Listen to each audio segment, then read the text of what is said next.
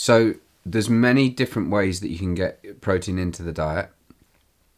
Essentially, you'll have a high level of protein in, in animal flesh and things that are derived from animals. So that's, you know, if you think about meats, poultry, lamb, beef, uh, possibly specialty meats, wild game, rabbits, and then and then things that are derived from those animals. So um, milks, um, eggs, you know, th- th- those those contain the full spectrum of all the amino acids that you need, all the essential amino acids.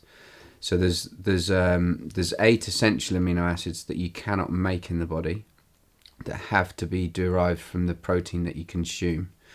Now you can get them from animal proteins and things that are derived from animals. If you're vegetarian, um, then you have to look at plant-based sources of protein.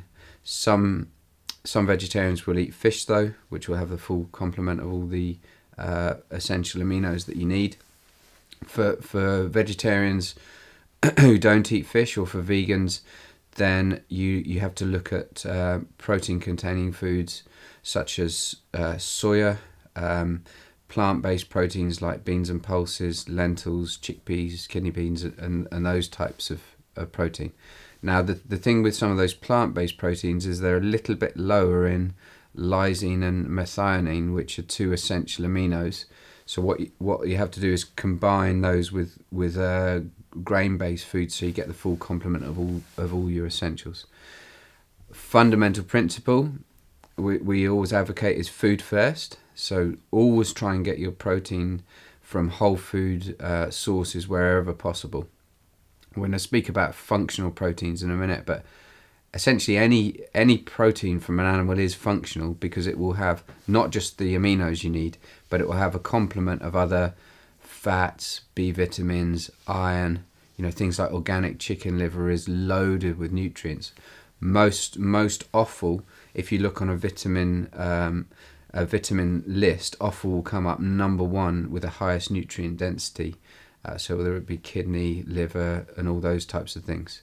So I'm a big believer in eating the whole animal. You know, eating the flesh from the animal, eating some organ meats, boiling the bones up to to get the goodness out of the bones. You know, making the most of of the fact that the animal's actually you know given its life up so that we you know that we can eat it and thrive on it.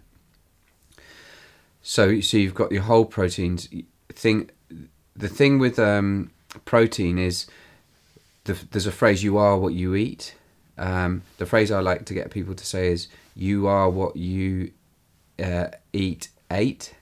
So basically, if if you eat uh, you know a grain fed cow, you'll you'll get your essential aminos and and and fats and so on that are within the meat. But because the cow's been fed loads of grains, the meat will be higher in omega six fats. Now, if that same cow gets to eat grass, the the meat from the cow will be higher higher in a ratio in terms of omega three fats, and we're going to talk about fats in the next instance. But that that ratio will help regulate your inflammation. So where you're choosing to source your meats from is really important for your health and your for, for your performance.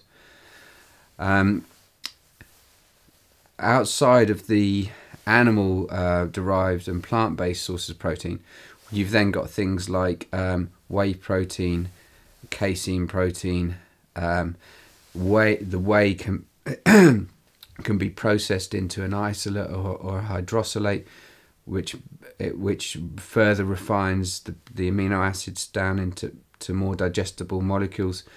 You can you can extract amino acids from these different types of protein. So each amino will have a key role to play in the body. When we come to talking about sleep, you, um, you'll learn that tryptophan is the amino acid which helps build serotonin, which helps deep restful sleep and can can calm people down and regulate carbohydrate cravings.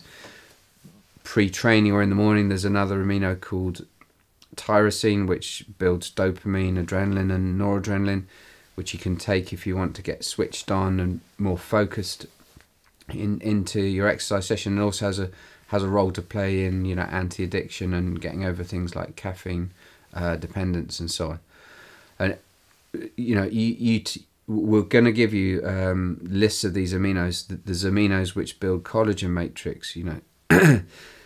any, any role in the body will have an uh, uh, an amino acid um, derived necessity to f- to f- to fulfill that role, whether it be building enzymes and, and so on. So we can we can look at the building the fundamental base of your protein intake with with a good quality, you know, hopefully organic, grass fed, you know, sustainable type approach, and then add in these amino acids on top for key performance or, or health or sleep or, or mental drive based uh, scenarios.